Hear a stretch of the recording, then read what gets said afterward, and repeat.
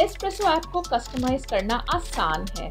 Dashboard पर burger menu है, जहाँ से आप ऐप थीम को सिलेक्ट कर सकते हैं और उसे लाइट या डार्क चुन सकते हैं। उसके अलावा आप फुटर या निचले भाग में मोर को टैप कर सकते हैं और वहाँ आप ऐड ऑप्शन भी देखेंगे।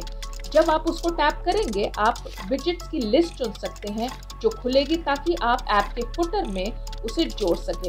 विजिट्स में आपको मिलेगी market order position search price alert holding EOD reports और लिमिट